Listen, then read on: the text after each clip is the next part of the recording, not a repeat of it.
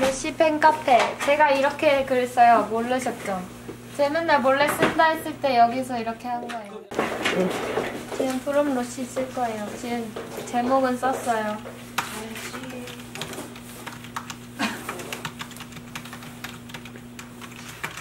오늘도 회사 컴퓨터로 컴퓨터?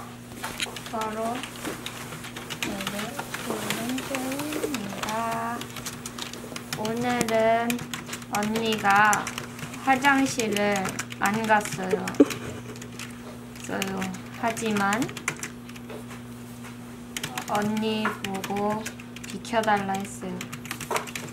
하고 쓰는 중입니다.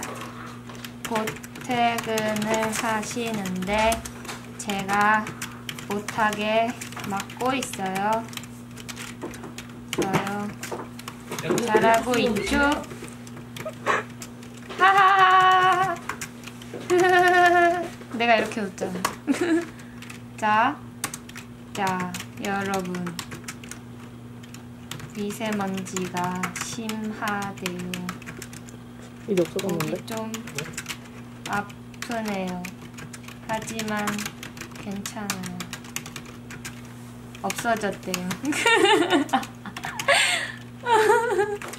감기 조심하시고 항상 힘내세요.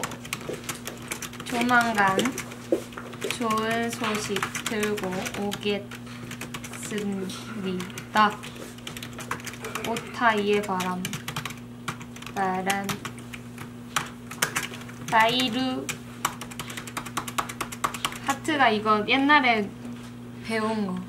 미음 한자.